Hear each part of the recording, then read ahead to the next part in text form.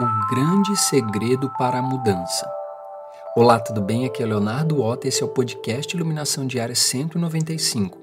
Se você quiser saber dos recados e links que eu tenho para te dar, é só ir aqui na descrição desse podcast. E para ouvir todos os episódios, é só acessar o site sobrebudismo.com.br.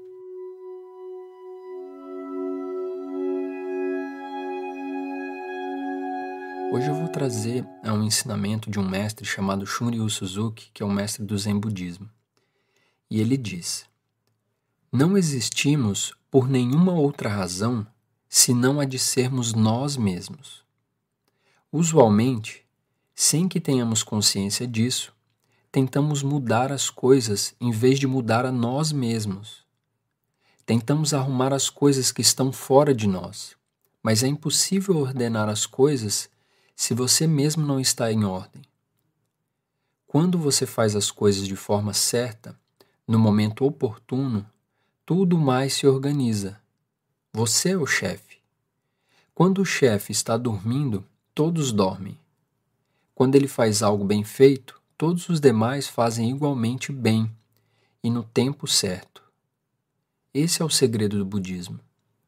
Portanto, procure manter a postura correta não apenas quando pratica meditação zazen, mas em todas as suas atividades. Então, qual que é o grande segredo? É não tentar, uh, ah, para a mudança acontecer, nós não podemos tentar mudar o que está fora.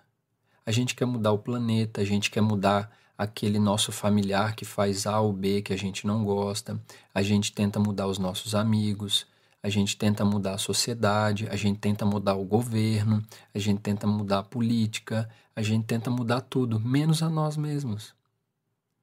Como é possível? Um exemplo prático. Eu tenho um filho de 5 anos, vai fazer 6 anos agora, o Gabriel. Como eu posso querer que ele mude algum comportamento dele? Então vamos supor que eu peça para o meu filho mudar, não mexer no celular na mesa. Mas aí eu vou lá e fico mexendo no celular na mesa. Como eu posso pedir isso para ele se nem eu mesmo faço? Então eu tenho que dar o exemplo. Nós temos que mudar a nós mesmos. Se a gente quer que as pessoas da nossa casa, da nossa família, tenham paciência com, nós, com a gente, a gente não pode pedir isso para eles. Nós temos que ser pacientes com eles. Então a mudança começa em nós. Nós já estamos.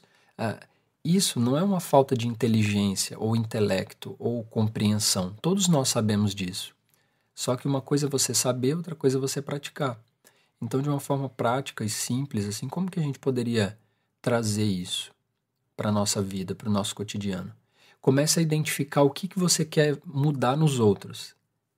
E aí você anota isso. Poxa, eu queria tanto que uma pessoa fosse assim, que outra pessoa fosse assado, que uma pessoa se comportasse assim. Depois que você anotar tudo, traz isso para você. Pega cada item e fala: eu vou me comprometer com um item e vou me transformar. Depois você pega mais um item, se compromete. Então, por exemplo, você quer que as pessoas tenham paciência com você. Pega esse item e desenvolve paciência, treina, reflete sobre o que é paciência, pesquise sobre paciência. Pesquise no Google, Pesquise como desenvolver paciência no dia a dia e treine isso por um ano, dois, cinco.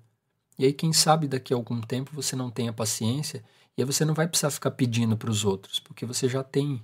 Então, aspiro que você possa colocar esse ensinamento desse grande mestre, Shunryu Suzuki, em prática, que você se beneficie com esses ensinamentos.